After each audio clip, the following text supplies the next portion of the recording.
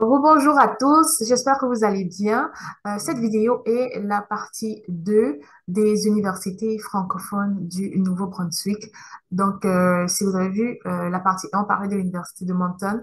Et juste pour rebondir un peu, ce que voilà, j'ai oublié sur l'université de Moncton, ce sont les prix. Donc, en moyenne, il y a 5 ans, moi, je payais pour une année d'études en baccalauréat, moi, je payais 12 000 dollars. Oui, 12 000 dollars environ, mais aujourd'hui, c'est comme euh, après des 14 000, 15 000 dollars canadiens. Si vous utilisez le franc CFA, c'est comme euh, près de 7 millions, alors qu'il y a 5 ans, moi, je payais 6 millions. Donc, euh, juste pour rebondir dessus. donc, aujourd'hui, nous allons voir le collège communautaire du Nouveau-Brunswick. Vous l'avez déjà certainement entendu. Mais comme j'ai dit, je tiens vraiment à revenir dessus parce que ce sont vraiment des collèges qui sont un peu plus moins cher que euh, les autres collèges euh, dans le Canada, dans les autres provinces euh, en général. Donc, le Collège communautaire du Nouveau-Brunswick, eux aussi, donc voici le site web. Vous tapez juste CCNB. Donc, eux aussi, ils ont plusieurs campus. Donc, suivez avec moi à travers mon écran, s'il vous plaît. Ils ont plusieurs campus, le campus de Bathurst, Campbellton, Dieppe, Edmundston et puis la péninsule acadienne qui est euh, Chipagan, comme je vous disais tantôt. Donc, c'est vraiment à côté de l'Université de Moncton. Donc, euh, si vous ne connaissez pas la différence entre un collège et l'université au Canada, euh, vous pouvez juste taper sur Google ou ça fera l'objet d'une autre vidéo. Mais juste pour vous dire, je pense, oui. Le collège, la plupart des collèges sont moins chers que l'université publique ici. C'est vraiment, c'est une chose que, qui m'a surprise, je dirais, parce que c'est le contraire. Dans les pays africains, généralement, les écoles privées sont euh, plus chères, comme euh, les écoles de formation sont plus chères que les universités publiques, publiques. Mais ici, c'est le contraire, je dirais, pratiquement sur tout le territoire canadien. Donc, alors, vous avez vu les campus.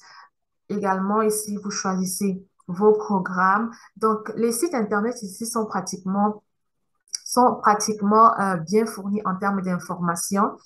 Euh, alors là, je vais juste faire un stop rapide sur la scolarité. Donc, euh, donc, il y a des frais à payer pour les étudiants internationaux qui sont non remboursables, mais généralement, quand vous avez l'admission et le visa, il déduit ces 500 dollars-ci de votre scolarité. Donc, euh, 9464. Alors, ça, c'est en moyenne. Notez bien que c'est en moyenne. Ça veut dire qu'il y a des programmes qui sont plus chers que euh, ce que vous pouvez voir sur le prix. Et euh, parfois, il y a des frais à considérer. Donc, je dirais arrondir ça peut-être 10 000 ou euh, peut-être 11 000. Donc, c'est toujours nettement moins cher que l'université de Moncton, par exemple. Et vraiment, les campus, euh, ça dépend, une fois de plus, je ne pense pas qu'on puisse directement choisir son campus. Ça dépend du programme que vous allez faire. Donc, il faut vous rassurer que le programme que vous voulez faire soit donné dans, euh, dans quel campus il est donné en fait, ou bien soit donné dans le campus que vous, où vous voulez aller. Donc, vraiment, moi, je dirais toujours, ne soyez pas difficile.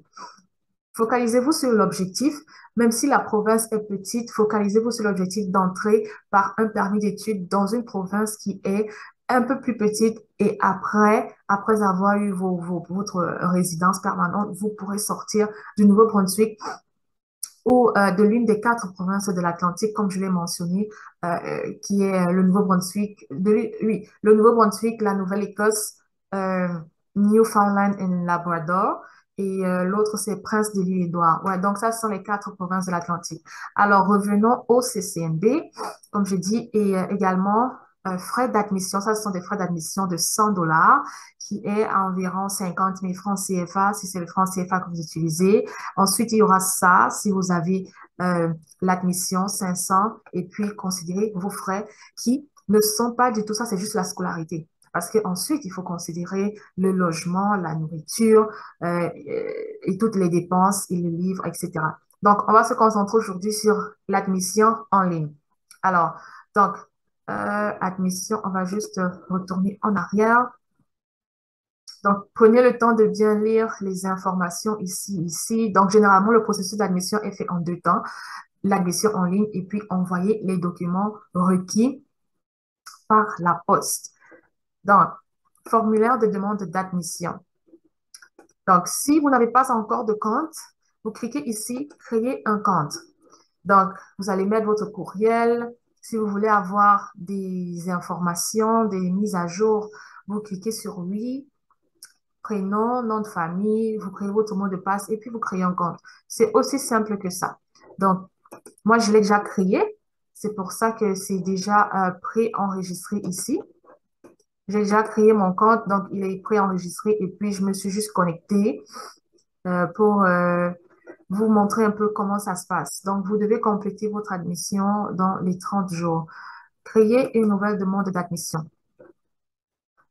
Alors, débutez votre demande d'admission. Prenez le temps de bien lire les questions, hein. lisez bien. Et puis ici, vous avez votre profil où vous pouvez modifier vos informations. Euh, donc, il y a le nom, le prénom, la date de naissance, euh, qui représente votre statut au Canada. Euh, bien évidemment, ici, vous n'avez pas, vous allez devoir appliquer pour un visa étudiant. Donc, vous cliquez là, pays d'origine, étudiant autochtone. Donc, vous n'êtes pas un étudiant autochtone. Les étudiants autochtones, c'est vraiment euh, ici, là, comme on les appelle en général les Indiens. Donc, vous n'êtes pas étudiant autochtone. Là, là, là, là, là. Voilà. Donc, euh, une fois que vous aurez fini, vous pourrez passer à l'étape suivante. C'est ça. Parce que là, ils ne laisseront pas passer à l'étape suivante parce que je n'ai pas tout rempli. Mais c'est un peu euh, ça. C'est pour vous montrer un peu comment ça fonctionne. Et puis ici, il y aura le paiement. Vous devez faire le paiement. Euh, ce sont les mêmes méthodes, hein. Visa, carte Visa, carte Mastercard. Si vous avez quelqu'un ici, vous pouvez faire peut-être un mandat et puis la personne le fera pour vous.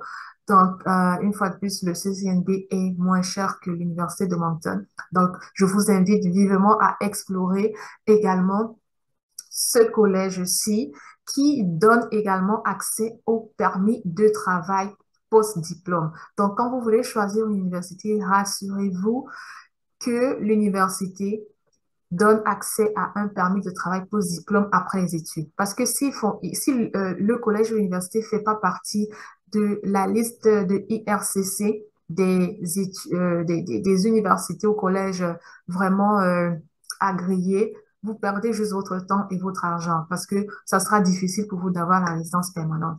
Donc, c'est vraiment une option que je recommande vivement. Alors, c'est tout pour aujourd'hui. J'espère que cette information vous sera utile. Je vous remercie vivement d'être resté jusqu'à la fin de la vidéo. Si vous avez des commentaires, des feedbacks ou encore euh, une question précise sur l'admission ou bien si vous êtes intéressé par les collèges anglophones, parce qu'il faut le dire, l'anglais aussi c'est important. Il ne faut pas juste rester, euh, parce que même le Nouveau-Brunswick, c'est une, une, une province bilingue. Euh, officiellement bilingue. Donc, euh, l'anglais, c'est important. Si vous prévoyez plutôt étudier en anglais, je peux présenter, je vais également présenter des universités anglophones. Ne négligez pas. Donc, euh, c'est ça, c'était tout pour le CCNB. Vous pouvez laisser vos commentaires dans, euh, dans euh, la barre des commentaires ou m'envoyer un message sur LinkedIn euh, ou Instagram à Daniel Bolo. Merci beaucoup et on se retrouve bientôt pour de nouvelles vidéos. Vous pouvez également vous abonner sur cette chaîne. Si vous aimez le contenu, à très bientôt pour une vidéo. Bye bye.